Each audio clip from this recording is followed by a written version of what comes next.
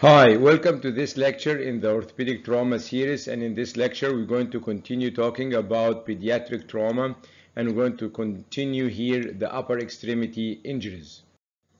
A good source that you can use is this book written by myself. We stopped in the previous lecture uh, at uh, the both bone forearm. The first topic in this lecture will be the distal radius fracture. Distal radius fractures are multiple um, types as you can see here in these pictures from uh, my book in pediatric orthopedic for primary care physician. Uh, you can get the green stick fractures um, which is uh, angulated but not bent. You can get um, the completely displaced fracture as you can see here. You can see torus fracture. Uh, the, also the fractures can be metaphyseal or it can be through the growth plate as we're going to see after that all this type fall into the category of distal radius fracture. So again, distal radius fracture can be angulated but not displaced like this fracture, green stick. Torus, it means failure of one cortex, the other cortex is intact. Or complete fractures and displacement, all these are types of distal radius fracture. The fracture can be in the metaphysis or it can be at the level of the physis, which is Salter Harris, and we're going to see some examples for that. Um, the accepted alignment in cases of distal radius fracture is up to 20 degrees dorsal angulation, meaning apex volar. When we say dorsal angulation, means that the apex of the deformity is volar. You can always know volar and dorsal from the thumb, so the thumb is at always in the volar um, side. So this is a dorsal angulation, or another word for that is apex volar angulation. You can accept up to 20 degrees uh, at the, uh, till the age of 14 years in boys and 12 years in girl.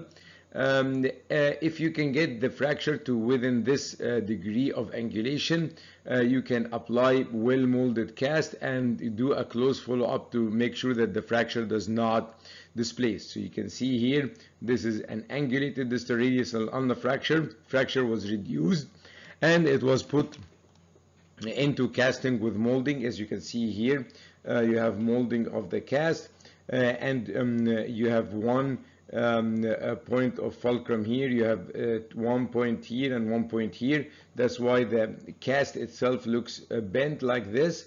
Um, and this bending here of the cast will give you a straight bone and um, uh, this called well molded cast. And we spoke uh, before in the both bone forearm about the cast index uh, which is basically a criteria for the uh, for the shaft radius and ulna and it also can be used for the distal radius and ulna. Uh, so mm, the treatment then in most cases is closed reduction and you uh, are looking for a target which is less than 20 degree dorsal angulation for um, boys uh, 14 and less and girls 12 and less and once you can obtain this you apply well molded cast and do a close follow up um, this is a picture here of um, uh, how much um, remodeling you can get. This is one of my patients. Uh, these x-rays are only eight months apart. This is a six-year-old um, uh, uh, boy who has um, distal radius angulation about 45 degree and uh, only eight months later it's very minimal nine, mo nine month uh, nine, nine degree angulation. Uh, remember the, uh, there is a, a large angulation, uh, large remodeling potential in the distal radius uh, fracture because the distal radius physis is very active growth plate and there is lots of growth that happen from this distal radius. So the amount of expected remodeling is very high. Similar to adult, distal radius fracture can cause acute compression of the median nerve resulting in acute carpal tunnel syndrome. And if this happens um, um, before reduction, like patient present with displaced fracture and acute carpal tunnel, the treatment is close reduction and reassessment. If this happen after the close reduction, uh, the treatment is first split, um, splitting uh, all the um, casting material. Uh, if this fails to control the symptoms, um, acute carpal tunnel release uh, should be uh, done with pinning of the fracture to avoid displacement. Uh, note that this is not uh, compartment syndrome. Uh, this is compression on the nerve, direct compression on the nerve, direct uh, um, acute uh, carpal um, tunnel. Uh, so no fasciotomy is needed in these cases. Um, and, uh, as we said, the fractures um, in the distal radius can occur into the diaphysis, and it also can occur through the physis or as a, or a a Salter-Harris injury. Uh, the treatment in these cases um, for the Salter-Harris is close reduction and casting. Uh, the distal uh, radial uh, physis is very forgiving. Um, in the vast majority of cases, no growth disturbance will happen. Uh, remember these fractures heal uh, much quicker than the metaphyseal fracture. This is a very active area, so it heals very quickly. So if the patient present late, um, more than uh, four or five days, it's better not to try to reduce the fracture because there is some healing that happened um, in this um, small period. Um, and uh, for you to reduce the fracture, you will need excess amount of force, and this force may result in um, damage to the growth plate. So um, these fractures, as we said, uh, heals faster, and they have um, a very good remodeling potential because they basically are at the level of the physis, so the growth um, uh, uh, um, uh, potential and the remodeling potential is very high. So if um, they present late more than uh, four or five days, the treatment is uh, just application of a splint or a cast with no trial of reduction because uh, the reduction uh, will require excessive amount of force that may cause injury to the growth plate. Um, uh, Salter-Harris injury of the distal ulna is different than distal radius. We said that the distal radius is very forgiving. Uh, the very vast majority of cases will not have any problem with distal radius. Uh, this is in contrary to the uh, distal ulna. Distal ulnar uh, physis injury have an, uh, an incidence of growth disturbance that is up to 30 to 40 percent.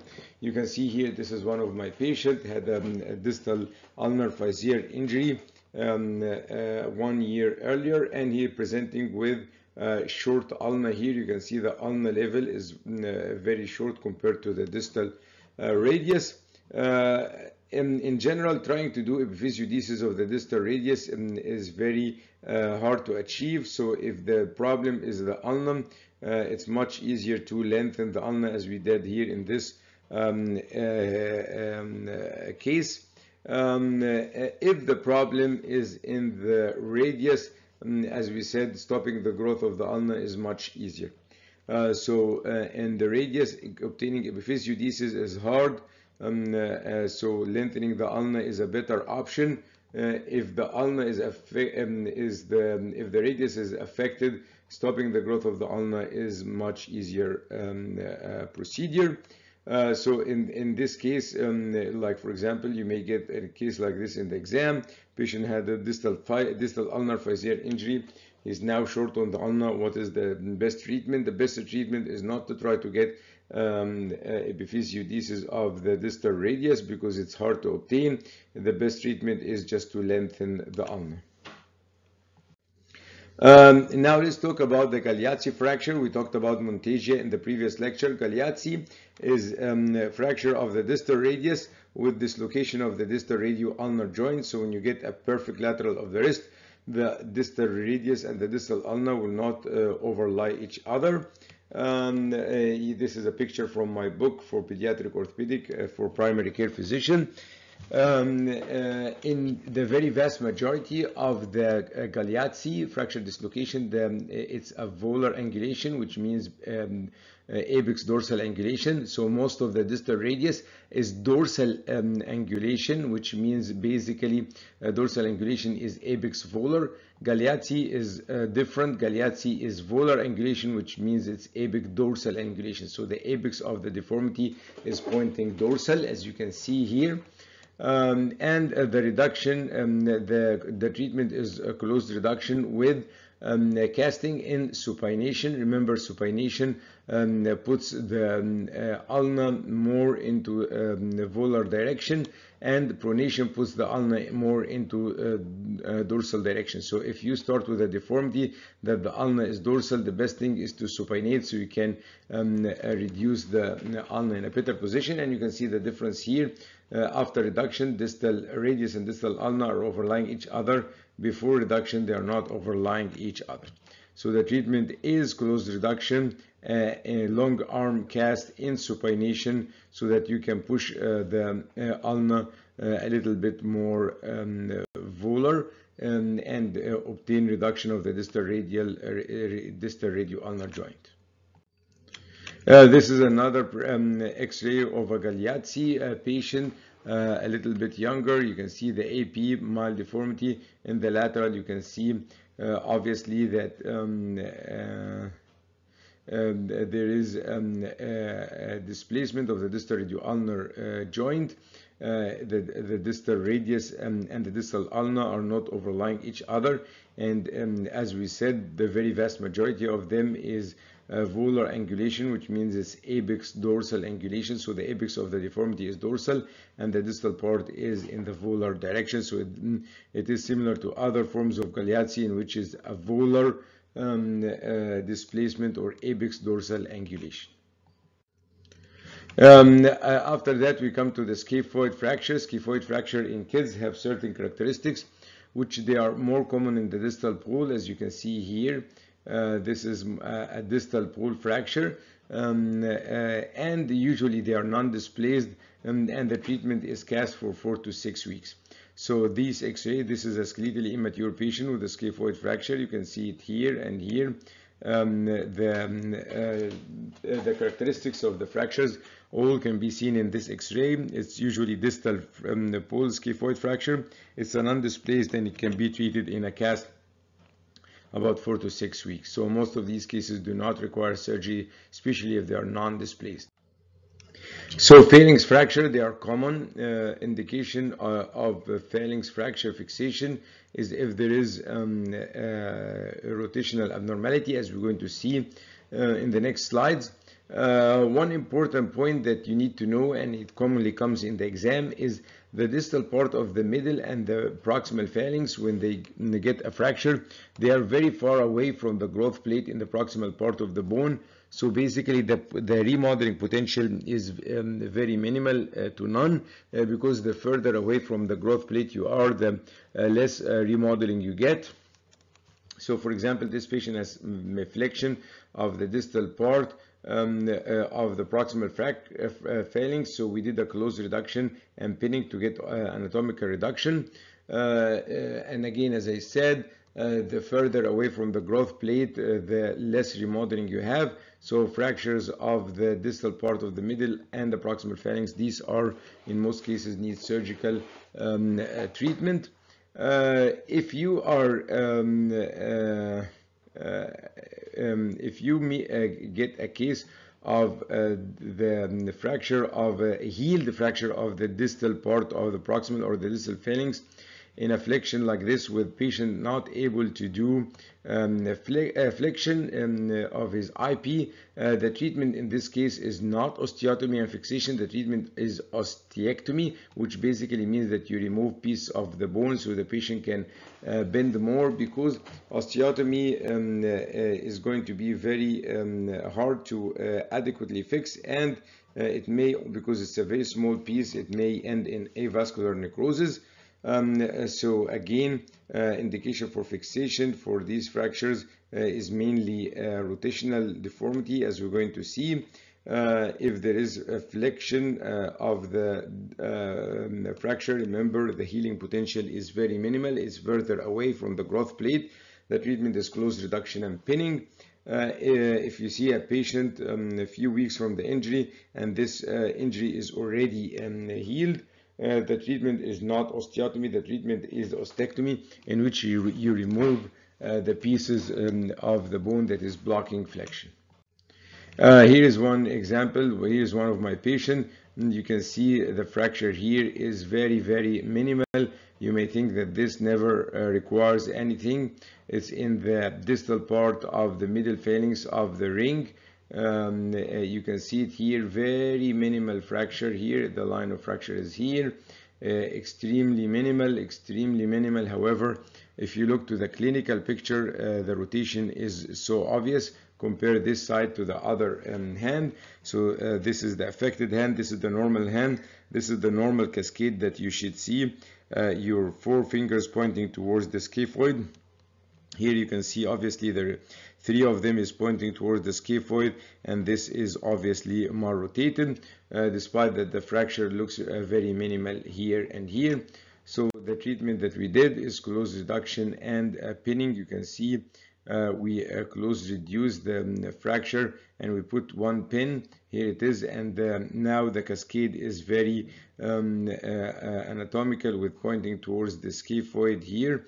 So you can see all of them pointing towards the scaphoid uh, and the cascade is back compared to ca the cascade here to the cascade here before the um, reduction. Here these three points to the scaphoid and this point further away here, all of them points to the scaphoid. Uh, Seymour fracture. Um, Seymour fractures occurs in the finger and the toes. Uh, Seymour fracture is very specific type of fracture. Uh, this picture um, uh, here uh, um, um uh, showing the Seymour fracture. Um, uh, Seymour fracture is basically an open fracture um, uh, of the uh, proximal part of the distal phalanx. Uh, it happens through the growth plate. So it's basically a Salter-Harris. It's most of the case Salter-Harris type 1 or 2. And you can see here what happens is the germinal layer here of the nail is inside the fracture. So um, you have the germinal layer of the nail inside this open fracture. So uh, the, the, the, treatment is um, that you have to do debridement and then you have to do open reduction. You extend uh, the cuts on either sides of the uh, nail bed and you get the germinal layer of the uh, nail outside the fracture and then you reduce the fracture and pin it. This fracture is commonly missed because if you, are not aware of this injury, you may think it's just a displaced fracture and you can uh, reduce it with close reduction. Um, this does not happen, as I said, because the germinal layer of the nail is inside the fracture. So the treatment is open reduction. You extend the uh, cuts here into the nail. You give the antibiotic. You get the um, germinal layer out um, of the two uh, ends of the fracture, and then you pin the fracture um, fracture of the base of, of the first um, um, uh, phalanx of the thumb. You can see here this fracture here.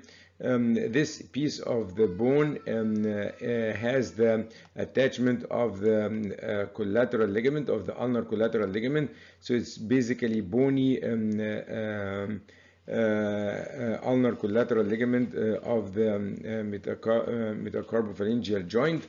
Uh, so it needs a fixation and, and the fixation is by um, uh, um, screw, a compression a screw, uh, open reduction internal fixation by a screw. Uh, so um, this fracture here is basically bony um, um, ulnar collateral ligament of the MCP injury. Uh, so it needs um, an anatomical reduction and fixation by a screw to avoid instability. Uh, a, a, very common fracture, the um, extra octave fracture. Uh, it happens, it's a Salter-Harris type 2 uh, of the um, uh, proximal uh, of the um, uh, um, small finger. Um, and it always goes ulnar like this so the treatment is close reduction you bring this finger this way you can put a fulcrum here and you bring the end this way to get a closed reduction as you can see here so the treatment is closed reduction and splinting of this fracture. Uh, thank you, and by this we finish the um, uh, pediatric trauma, both lower extremity and upper extremity. Um, I hope it was uh, useful, uh, and I hope you will um, find these videos helpful for your study. Uh, thank you.